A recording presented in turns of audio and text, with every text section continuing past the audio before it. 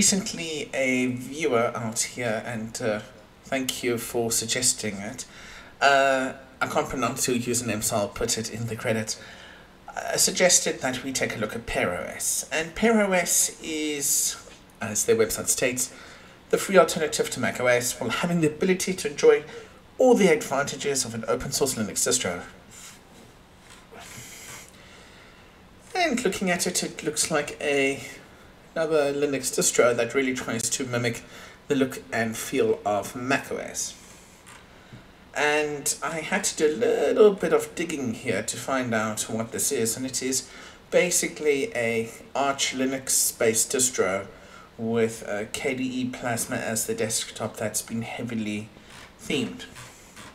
So when you say to get PearOS, it takes you to another sub uh, website called NiceCore PearOS and then it gives you a bit of a closer look as what uh, this has going here. So instead of just browsing through the website, I've downloaded the ISO and thought, hey, let's uh, take a look at it. Okay, PearOS installer. And I'm going to hit uh, to start it up. Now, I'm going to already warn you, I'm not going to show you this OS once it's installed because I've tried on five different occasions by using VirtualBox, by using boxes, using KVM, virt-manager, you name it, and I cannot get this thing installed. It goes through the installation process, which is the last step, which I'll show you towards the end of the video, and then it just doesn't do what it needs to do, unfortunately. I even looked on their website, followed the website instructions and video, and it, it just doesn't work to install. Okay, so this is uh, the interface you get welcome to. I'm just going to uh, change resolution. So I'm going to go to system settings down here. And here we go. We now have this uh, display fixed. If you look at the about system, it tells you it's PearOS from NiceCore it's telling you it's using uh, 6.18 of the Arch kernel and Plasma 5.265. Yeah, and this is what you get greeted straight out the box. It really has been themed quite heavily. So let's take a look at the items. Um, if I right click, normal KDE options, configure desktop, wallpaper, display settings, create new folders and text files, that's not interesting, but let's work it from here. Left side, of course, uh, if I click on about this Parentosh, it gives a very similar system overview as what Mac does. So it tells us basic of the machine, display, uh, storage, support, has no OS. uh, warranty and the service. Coming soon, paybooks. Anyway, if I click on system report, nothing happens. I click on software update, nothing seems to happen. Display preferences, uh, KDE display config opens up. If I click on manage here, nothing happens. And uh, I would assume this will take one to a website or forum. Then if I click on System Preferences, it opens up the KDE Quick Settings, which makes sense to do that. Uh, if I click on App Store,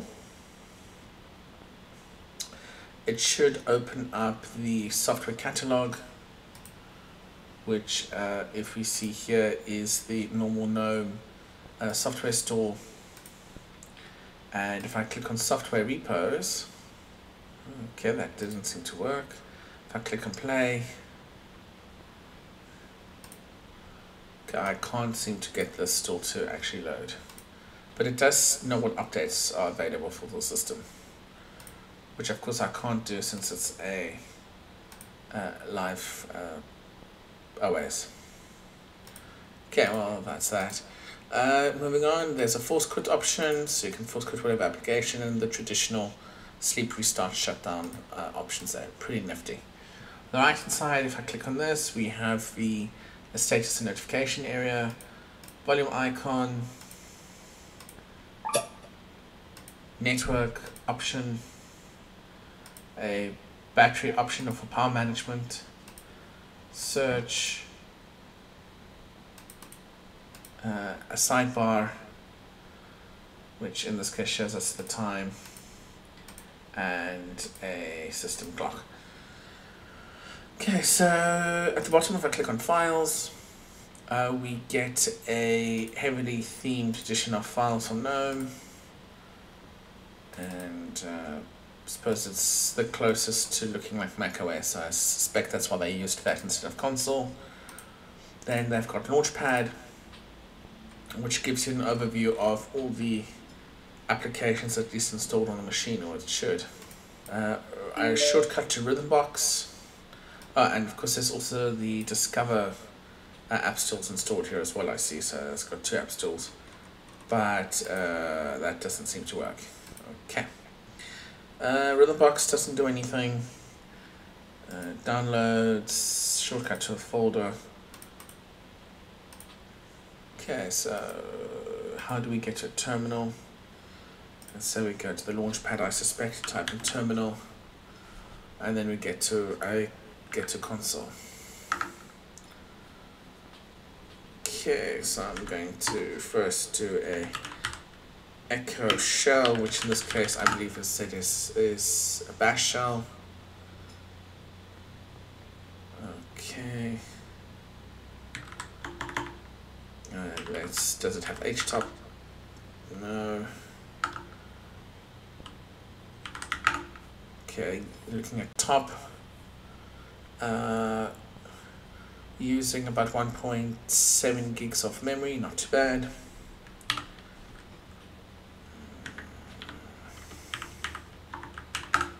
Of course, on the ISO image, it really uh, doesn't use too much, use about 1.7 gigs of on its ISO image as well. And uh, as we can see here, uh, kernel 6.1.8 uh, Arches kernel. Really, really uh, interesting uh, going on here.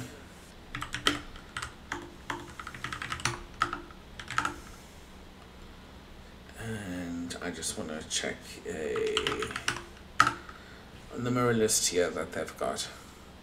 Guess that looks like it's using the standard arch mirrors. And it looks like they're using chaotic as well. Chaotic repos. What am I doing? Cat, chaotic. Okay, yeah, definitely looks like that's what they've uh, gone ahead and done. Okay, so pretty interesting there. So, I mean, great out the box. Looks it looks pretty polished.